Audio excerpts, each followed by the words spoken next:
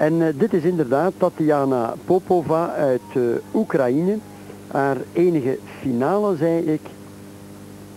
En dat komt omdat haar land- en clubgenote Victoria Stadnik, geclasseerd voor vier finales, zich terugtrok voor eh, deze finale. En dat kan op voorwaarde dat dit meisje dan voldoet aan de reglementen, met name dat ze dan na het wegvallen van de eerst geselecteerde nog altijd binnen de eerste best acht deelnemers is voor deze discipline.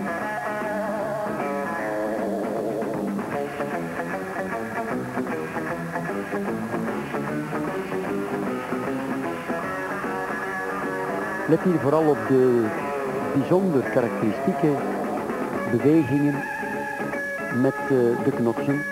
Die kunnen dus in het midden of aan de nek, zoals dat heet, of aan de kop worden vastgehouden, maar altijd zeer licht en de beweging komt uit de polsen.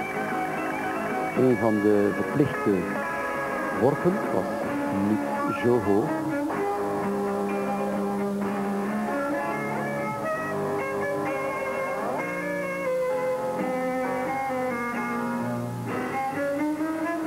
Weer een andere soort worp en die wordt ook anders teruggegrepen. Daar moet dus ook wat variatie in zitten in de worpen, maar ook in het uh, hergrijpen.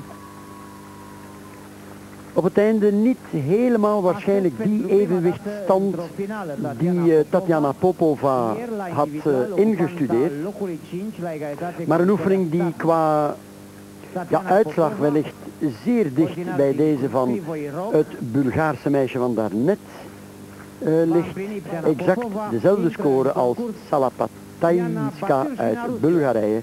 Die kreeg eveneens 9.